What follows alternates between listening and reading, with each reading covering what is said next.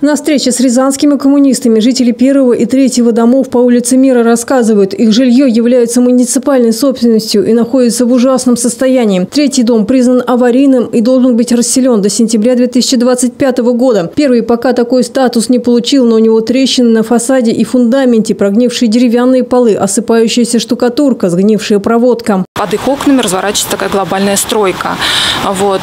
Люди стали возмущаться, и администрация города Рыбного пошла на какие-то э, встречи, обсуждались там наболевшие вопросы.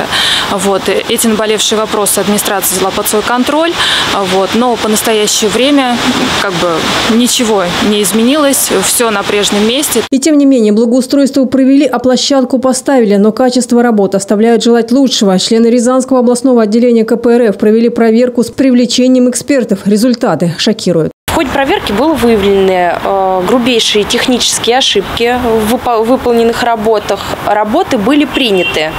И э, контракт был оплачен 58% от контракта было оплачено. Вот.